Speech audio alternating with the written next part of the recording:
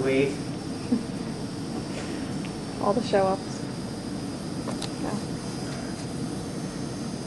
In a book entitled Chicken Soup for the Veteran's Soul, there's a quote from Will Rogers, the celebrated playwright and comedian. He said, Not everyone can be a hero. Somebody has to stand on the curb and applaud as they walk by. That quote was with me when I volunteered for the USO, the United Service Organization. And I'd like to tell you a little bit about the USO, because it means so much to me, and it's changed my life experience. I'm going to talk to you about the USO and its history. I'm going to tell you why I joined the USO. I'm going to tell you a little bit about the first night I volunteered, the food that we fed the troops, and the reaction to it. First, a little bit about the USO. The USO was chartered by the U.S. Congress over 67 years ago. However, it is not a government organization. It is a privately funded organization that survives on the donations made by private citizens like you and me. Uh, they do a lot of different things for the troops and their families. Uh, they provide care packages for troops deploying overseas that include toothbrushes, razors, toothpaste, mouthwash, reading materials, decks of cards, even a granola bar. Uh, they provide community centers for military members and their families where they can gather and have celebrations.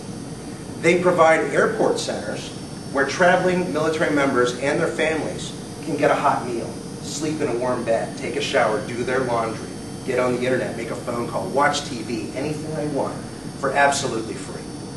They also have their mobile canteens, made famous by Bob Hope at his USO shows overseas. They can go anywhere in the world where the troops can be entertained, fed a hot meal, just like home. Now, I've told you a little bit about the USO. I'd like to tell you why I volunteered. I was never a member of the military. This is important because every male member of my family, going back to the American Revolution, has served in the military, with the exception of myself and my two younger brothers. When I told my mom about the speech, she's the family genealogist, she pointed that out to me, along with the whole family tree. He was in the military, he was in the Army, he was in the Navy, he was a Marine. It embarrassed me, because I feel so strongly about this country. I wanted to make a difference, especially after 9-11, as many Americans did. They were hurt and angry and wanted to fight back. Unfortunately, at that time, well, fortunately, at that time, I had a young family, and it wasn't a sacrifice I was willing to make. Then last month, I saw an ad on television. The local USO chapter was looking for volunteers, and I volunteered. That's how I got there. My first night, last month, it was June 2nd, I received an email from MJ Flammer. She is the manager of operations at Fort Dix and McGuire Air Force Base for their USO charter. She critically needed volunteers for that night. 240 members of the 50th IBCT, the Infantry Brigade Combat Team, were coming back from Iraq that night. And they were expecting about 1,500 people. And they had a lot of food to serve. So after confirming it with my wife that I could go. I got dressed and I went. MJ met me at the gate of Fort Dix in order to check me in. Unfortunately, I had not yet gotten my credentials.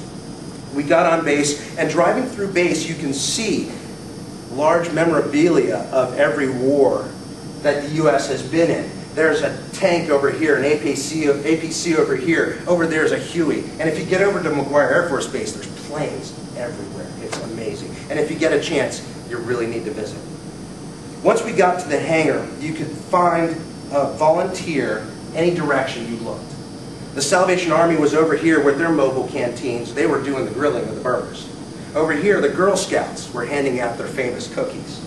Campbell Soups from Camden, New Jersey actually sent several volunteers to work with the USO to serve food. And there was a lot of food. We had potato salad, uh, pasta salad, green salads, fruit salads, you name a salad, we had it. Condiments, cookies, cakes, lettuce and tomatoes for the burgers and the cheeseburgers. And we had hot dogs. I missed the slide. Don't you do that?